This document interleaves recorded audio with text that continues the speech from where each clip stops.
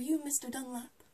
Excellent. Well, either you are closing your eyes to a situation you do not wish to acknowledge, or you are unaware of the caliber of disaster indicated by the presence of a pool table in your community. Well, you got trouble, my friends. Right here, I see trouble right here in River City. Why, sure, I'm a bigger place. I'm mighty proud to say I'm always mighty proud to say it. I consider that the hours I spend with a cue in my hand are golden. Help Helping cultivate horse sense, and a cool head, and a keen eye. Did you ever take and try to give an ironclad lead to yourself from a three-rail billiard shot?